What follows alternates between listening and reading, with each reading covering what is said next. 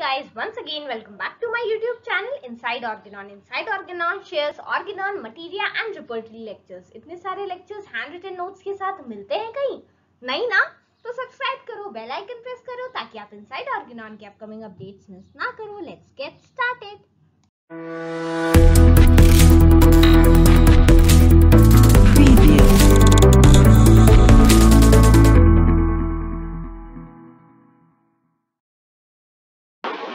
guys, once again welcome back to my YouTube channel Inside Organon. In today's video we will be discussing Hull's jar repertory. ठीक है Hull's jar repertory was published in 1840. Its fourth edition was published in 1860. ठीक है तो first addition 1840 में publish हुआ था and the fourth edition was published in 1860 इसके author जो थे उनका नाम था जी एच जी जार ठीक है एंड इसका जो इम्प्रूव्ड एडिशन पब्लिश हुआ था, वो एजी हल ने किया था एंड फाइनली ये जो कंबाइंड रिपर्टरी है, इसको हम कहते हैं हल्स जार रिपर्टरी ठीक है The fourth edition was useful with addition of 24 remedies and some 200 pages of new clinical experience. ठीक है तो जो फोर्थ एडिशन था, जो 20 इयर्स बाद पब्लिश हुआ था फ़र्स्ट एडिशन के उसमें 24 रेमेडीज ऐड हुई थी, ठीक है? तो प्लस 24 मेडिसिन यहाँ कर देते हैं हम। और उसके अलावा 200 pages of clinical experiences were added ठीक है? द बुक सिक्स एडिशन जो है, इसमें introduction G H S Jahr ने लिखा था, ठीक है? तो जो सिक्स एडिशन थी, इस टेक्स्ट बुक की उसका introduction G H S Jahr ने लिखा था, ठीक है? अब हम इसके स्पेशल अरेंजमेंट की बात करें तो सबसे पहले यहाँ पे कुछ क्लिनिकल रिमार्क्स मेंशन किए गए हैं। फिर symptoms of repertories are mentioned फिर certain certain conditions are mentioned जब सिम्टम्स अपीयर होते हैं and finally concomitants are mentioned ठीक है? तो ये था स्पेशल अरेंजमेंट इस रिपर्टरी का। अब हम देखते हैं ग्लॉसरी पार्ट में क्या मेंशन किया गया है। तो ग्लॉसरी वाज मेंशन जिसमें कुछ टेक्निकल या फिर क्लिनिकल वर्ड्स थे, जो कि एक्सप्लेन किए गए थे। इसी बुक के पार्ट थे वो वर्ड्स ठीक है? तो आपने जैसे ग्लॉसरी में यूजुअली आप देखते हैं बुक के सर्टेन वर्ड्स की मीनिंग मेंशन की गई है तो वही चीज़ यहाँ पर भी मेंशन होता है।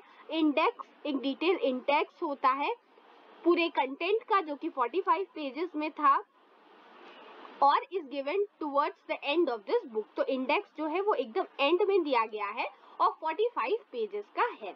A list of 287 remedies is present ठीक है ये प्रेजेंट लिखा हुआ है in the table of explanation तो 287 remedies are mentioned in the table of explanation.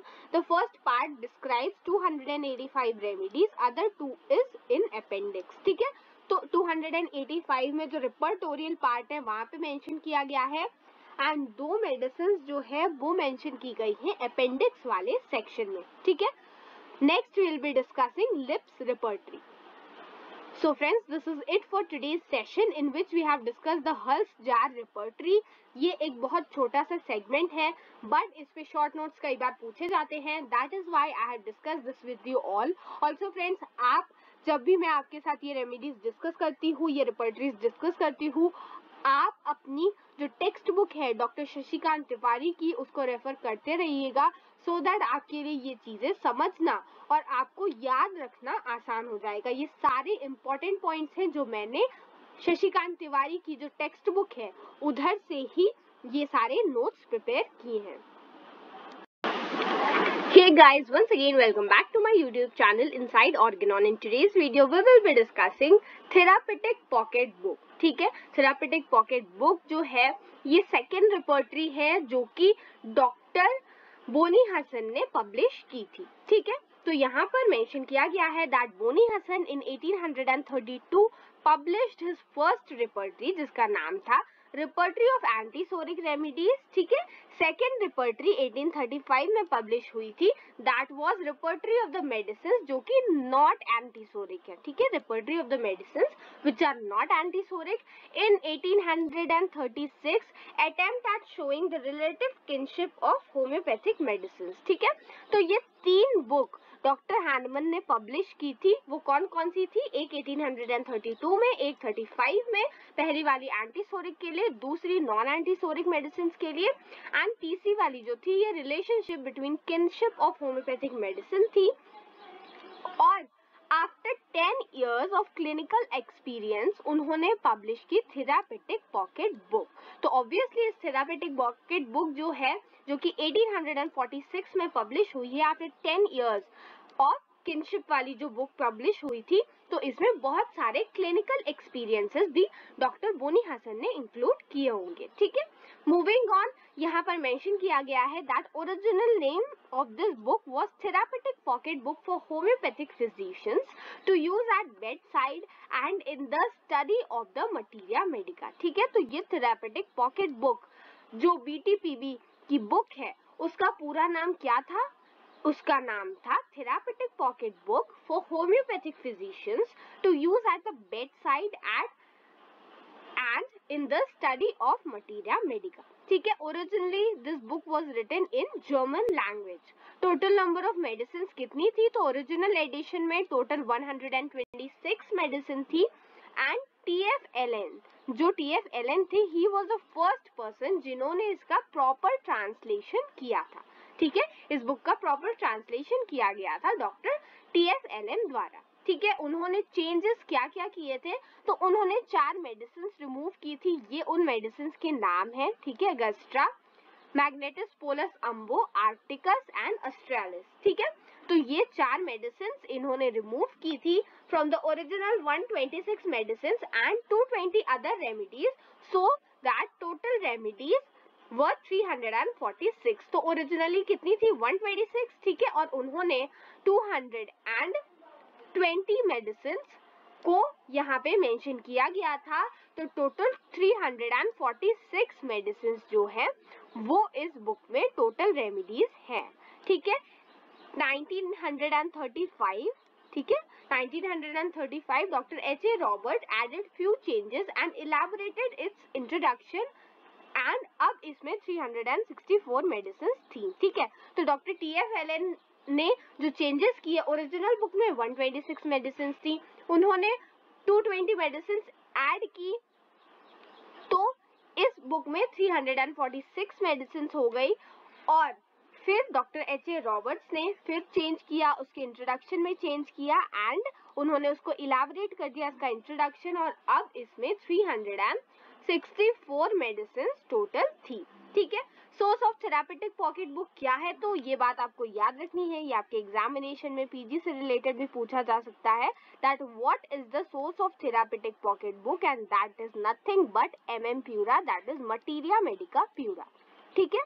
Now let's discuss the philosophical background अभी तक हमने एक ब्रीफ इंट्रोडक्शन देखा थेरापेटिक पॉकेट बुक का, कि वो कौन कौन की कौन कौन सी बोनी हसन की जो बुक थी, उसके बाद पब्लिश हुई थी। ठीक है, उसमें कौन कौन से क्लिनिकल एक्सपीरियंसेस ऐड किए गए, कितने साल बाद पब्लिश हुई थी, कितनी सारी मेडिसिन हैं उसमें। अब हम देखते हैं इसके फिलोसफिकल बैकग्राउंड को, ठीक है?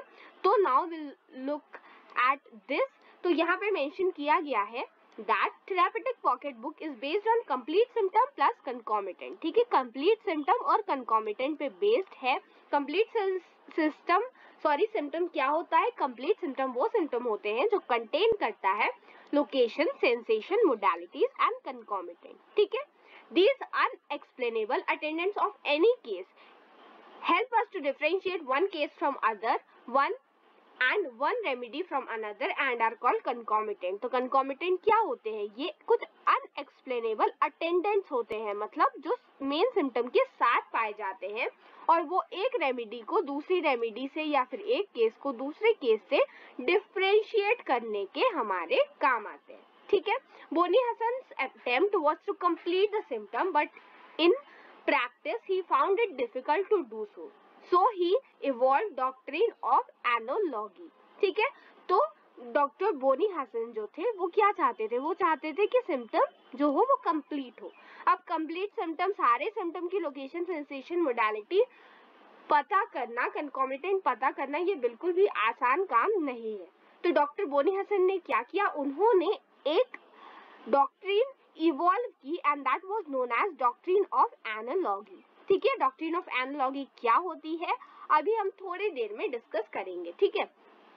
तो यहाँ पे मेंशन किया गया है दैट जो फंडामेंटल कॉन्सेप्ट थे, जो कि बेड रॉक मतलब बेस फॉर्म करते हैं थेरापेटिक पॉकेट बुक का वो चीज़ यहाँ पे मेंशन की गई है, ठीक है? तो थेरापेटिक पॉकेट बुक जो है, उसके जो फंडामेंटल कॉन्सेप्ट्स हैं या फिर बेड रॉक है, वो यहाँ पर मेंशन किए गए हैं that is doctrine of analogy doctrine of concomitant evaluation of remedies and concordance ठीक है? तो एक एक करके हम इन सबको समझते हैं।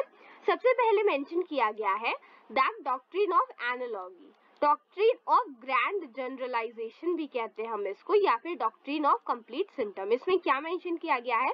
डॉक्टर बोनी हसन ने अपने एनालिटिकल माइंड को यूज़ किया। कि उनको सिम्टम कंप्लीट करना है।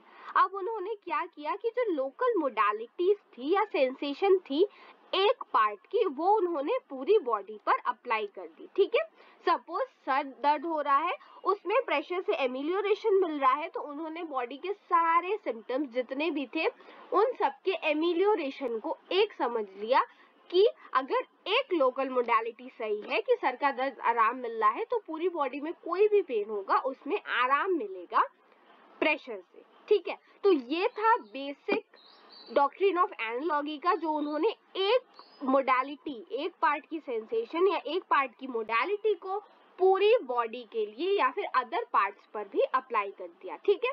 Moving on now evaluation doctrine of concomitant आप बहुत अच्छे से समझते हैं कि कंकॉमिटेंट सिम्टम जो है उस पर डॉक्टर बोनी हसन ने ध्यान दिया था एंड उन्होंने इवेल्युएशन ऑफ़ रेमेडी की, जैसे कि एंटीसोरिक में होती थी। ठीक है?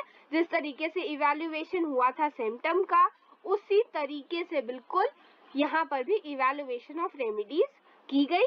ठीक है now talking about the concordance तो Boenninghausen keen observant mind noticed that a relationship existed among the medicines and named the chapter concordance of remedies. ठीक है तो doctor Boenninghausen was the first person जिन्होंने रेमेडीज के बीच में relationship discuss की है। ठीक है रिलेशनशिप क्या होती है? रिलेशनशिप सपोज़ आप देखते होंगे आपने जो बोरिक की रेमिडी देखी होगी सॉरी रिपर्टेड देखी होगी, उसमें बहुत सारी रेमिडीज ऐसे मेंशन की गई है दैट ये मेडिसिन जो होती है इनेमिकल होती है this is the complementary medicine ठीक है? तो ये सारी ही रिलेशनशिप होती हैं और ये सबसे पहले मेंशन किया गया था डॉक्टर बोनी हसन के चैप्टर जो कि कंकॉर्डेंस ऑफ़ रेमेडी है और ये कौन सी रिपर्टरी में है? ये थेरापेटिक पॉकेट बुक की रिपर्टरी में मेंशन किया गया है, ठीक है? Later doctor T S Allen ने रिलेशनशिप ऑफ़ रेमेडीज नाम दे दिया उस चैप्टर का। तो ये आपको याद रखना है दैट डॉक्टर बोनी हसन ने उसे कंकॉर्डेंस नाम सबसे पहले यूज़ किया था कंकॉर्डेंस ऑफ़ रेमेडी और उसके बाद डॉक्टर टी एस एलन ने उसका नाम क्या रख दिया? रिलेशनशिप ऑफ़ रेमेडीज ठीक है?